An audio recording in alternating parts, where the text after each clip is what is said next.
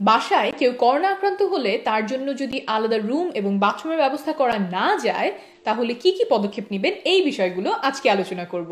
আর শেষে থাকবে, বাসায় কেউ করোনা আক্রান্ত হলে অন্যদের মাঝে করোনা বিস্তার রোধে কি কি করতে পারেন সেই পরামর্শ। প্রথমে বলব, অসুস্থ ব্যক্তির সাথে একই রুমে থাকার বিষয়ে, তারপরে বলব, বাথরুম শেয়ার করার উপায়, আর সব শেষে থাকবে, বাসায় করোনার বিস্তার রোধে কিছু সাবধানতার কথা।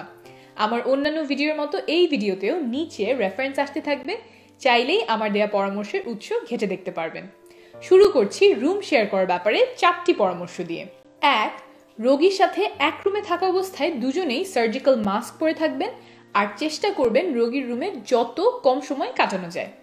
দুই, রোগীর সাথে এক বিছানায় ঘুমাবেন না। রোগী যেখানে আছে, তার থেকে অন্তত ছয় ফিট দূরে আপনার ঘুমানোর জায়গা ঠিক করবেন। সম্ভব হলে রুমে আরেকটা খাট রাখতে পারেন অথবা মেঝেতে বিছানা পেতে নেবেন।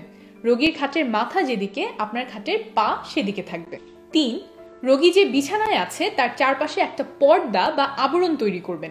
সেটা চাদর দিয়ে হতে পারে, কাঁথা দিয়ে হতে পারে, প্লাস্টিকের কার্ডবোর্ড দিয়ে হতে পারে। এখানে আপনাকে একটু সৃজনশীল চিন্তা করতে হবে। কি করে রুমের যেখানটাতে অসুস্থ ব্যক্তি আছেন, তার থেকে রুমের বাকি জায়গাগুলো আলাদা করা যায়। চার, রুমে বাতাস ঢুকতে ও বের হতে পারে এমন ব্যবস্থা করবেন, জানালা খুলে এটা করা সম্ভব। এখন আসছি বাথরুম নিয়ে আলোচনায়। বাসায় যদি দুটা বাথরুম থাকে, তাহলে একটা বাথরুম অসুস্থ ব্যক্তি ব্যবহার করবে আর অন্য বাথরুম বাকি সবার জন্য। কিন্তু বাসায় যদি বাথরুম একটাই থাকে, তখন তো সবাইকে একই বাথরুম ভাগাভাগি করে ব্যবহার করতে হবে। এই ক্ষেত্রে দুটা সাবধানতার কথা মাথায় রাখবেন। এক, অসুস্থ ব্যক্তি বাথরুম ব্যবহার করবেন, অন্যরা ব্যবহার করার পরে। ধরেন, সকালে ঘুম থেকে উঠে তো সবাই একবার বাথরুমে যাবে, তখন অসুস্থ ব্যক্তি বাথরুমে যাবেন সবার শেষে। রোগীর জিনিসপত্র, যেমন দাঁত মাজার ব্রাশ থেকে করোনা ছড়াতে পারে, সেগুলো বেসিনে না রেখে একটা ব্যাগে ভরে রাখবেন। দুই, প্রতিবার বাথরুম ব্যবহারের পরে অসুস্থ ব্যক্তি যে জায়গাগুলো হাত দিয়ে ধরেছেন, সেগুলো পরিষ্কার করতে হবে আর জীবাণুমুক্ত করতে হবে। এবার বলি যে এই পাঁচ উপায়ে বাসায় করোনা ছড়ানো প্রতিরোধ করবেন। এক, যতদূর সম্ভব রোগীকে বাকিদের থেকে আলাদা রাখতে হবে।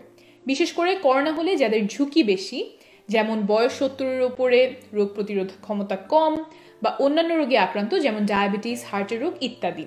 তাদের থেকে রোগী অন্তত পক্ষে ছয় ফিট দূরত্ব বজায় রাখবে। রোগীর কাছে যাবার দায়িত্ব বাসার যে কোনো একজনকে দিবেন। বয়সে তরুণ, অন্যান্য কোনো রোগ নেই, এমন কেউ হলে ভালো হয়। আর এই পরিচর্যাকারী ব্যক্তি বাসায় অন্যদের সংস্পর্শ আসা কমাবে যতটুকু সম্ভব হয়। রোগীর কাছে গেলে সার্জিক্যাল মাস্ক পরে যাবে। দুই, রোগীর জন্য গ্লাস প্লেট চাদর, তোয়ালে ইত্যাদি নিত্য ব্যবহার্য জিনিস সব আলাদা করে ফেলুন। একই জিনিস ভাগাভাগি করে ব্যবহার করবেন না। তিন, যিনি অসুস্থ, তিনি যাতে রান্না বান্নায় সাহায্য না করেন, তার খাবারটা রুমের দরজার বাইরে কেউ দিয়ে যাবে, সে চলে গেলে রোগী রুমের ভেতরে খাবার নিয়ে এসে খাবেন।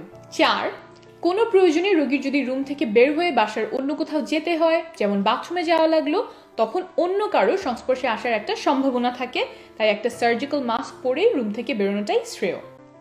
আরেকটা কাজ করতে পারেন, বাসার সবাইকে নিয়ে ফেসবুক বা হোয়াটসঅ্যাপে একটা গ্রুপ খুলে ফেলতে পারেন। রুম থেকে বেরোবার আগে সেখানে একটা মেসেজ করে দিলেন, আবার রুমে ফিরে সবাইকে জানিয়ে দিলেন।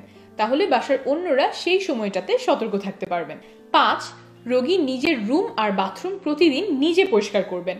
যেসব জায়গা বেশি বেশি স্পর্শ করেছেন, যেমন টেবিল, দরজার হাতল ইত্যাদি পরিষ্কার করতে হবে আর ডিসইনফেক্ট করতে হবে। আর নিয়মিত হাত তো ধুতেই হবে। শেষ করার আগে বলে নেই, এই সময়ে বাসায় যাতে মেহমান না আসে। আমাদের বাঙালি সংস্কৃতিতে এটাই চল, কেউ অসুস্থ হলে আমরা বেদানা, আঙুর, কমলা নিয়ে দেখতে যাই, কিন্তু করোনার সময় এটা করলে হিতে বিপরীত হতে পারে। বরং ফোন করে রোগীর খোঁজ নেন, ভিডিও কল করেন সোশ্যাল মিডিয়া ব্যবহার করেন। খোঁজ নিলে রোগীর ভালো লাগবে, আর যারা মেহমান হয়ে আসতেন তারাও নিরাপদে থাকবেন। শীঘ্রই দেখা হবে।